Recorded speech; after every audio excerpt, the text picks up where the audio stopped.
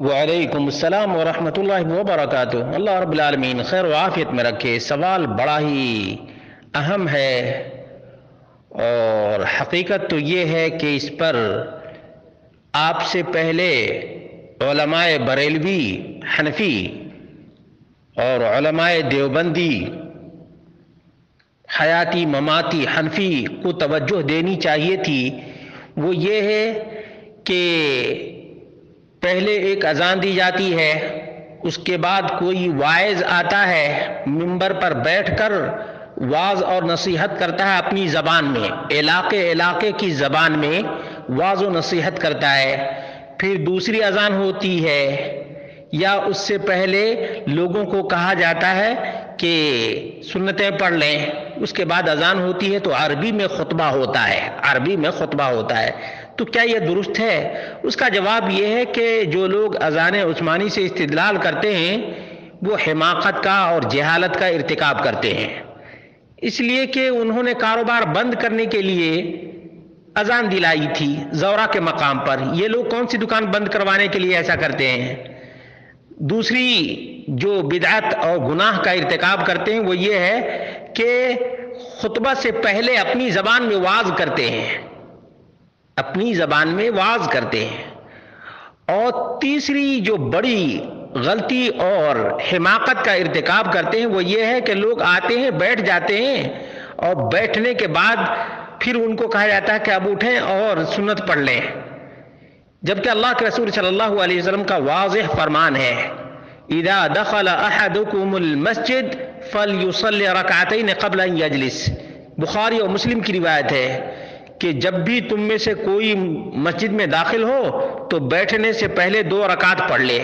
یہ الٹا کرتے ہیں۔ یہ ان کا طور طریقہ ہی الٹا ہے۔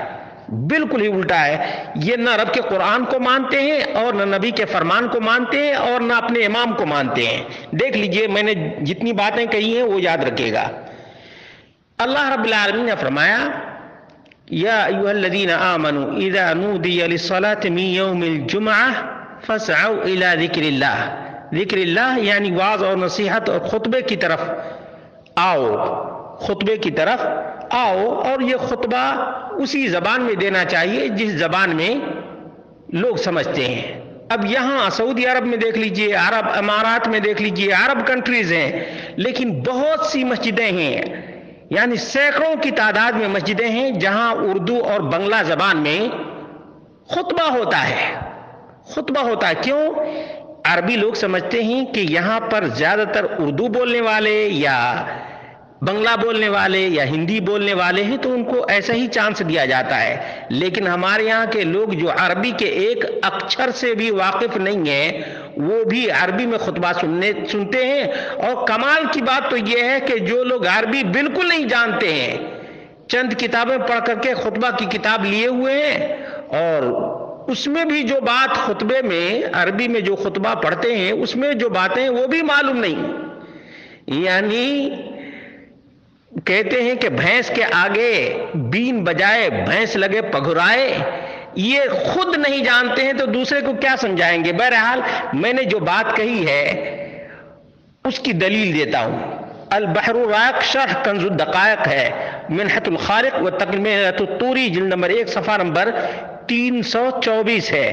اس میں کہتے ہیں کہ فارسی میں، وَأَمَّا إِذَا شَرَعَ بِالْفَارَسِيَّةِ فارسیہ، تو بالکل ہی صحیح ہے، فَإِنَّمَا يَصِحْ، بالکل صحیح ہے۔ اسی طرح سے کہتے ہیں الخطبہ، خطبہ بھی فارسی میں دینا جائز ہے۔ والقنوت، قنوت بھی خطبہ کی طرح سے کسی بھی زبان میں پڑھ سکتے ہیں۔ وہ تشہد تشہد بھی کسی بھی زبان میں پڑھ سکتے ہیں۔ اذان بھی کسی بھی زبان میں دے سکتے ہیں۔ لیجیے اب اب کیا رہ گیا؟ باقی کیا رہ گیا ہے؟ ہے کچھ باقی؟ کچھ باقی نہیں رہ گیا ہے۔ اسی طرح سے بہت ساری کتابیں ہیں۔ ان کتابوں کے اندر بھی یہ بات ہے، تبیین الحقائق شرح کنز الدقائق ہے۔ حاشیت الشلبی ہے، جلد نمبر ایک، صفحہ نمبر ایک سو نو ہے۔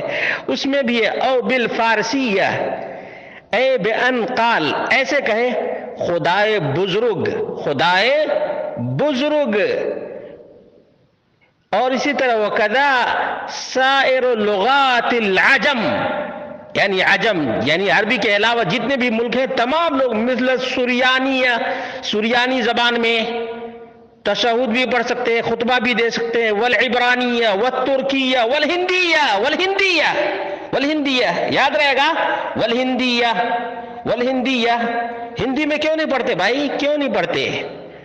اسی طرح سے تلبیہ جو لبیک لبیک اللہم، لبیک پڑھتے ہیں، وہ بھی وہ قضا التلبیت فی الحج والتسمیت عند الذبح یجوز بها بالاجماع وعلى هذا الخلاف۔ الخطبہ، خطبہ بھی سریانی میں، عبرانی میں، ہندیہ، فارسیہ میں۔ الخطبہ تو خطبہ والقنوت والتشہد وفی الادان یعتبر المتعارف دیکھا آپ نے؟ اور اسی طرح سے کہتے ہیں، اب جب کہہ دیا کہ سائر بلاد العجم، یہ عجمی جتنے بھی ممالک ہیں تمام کی زبان میں خطبہ دے سکتے ہیں۔ خطبہ، لغات العجم، وکذا سائر لغات العجم۔ تمام کے تمام آ گئے نا؟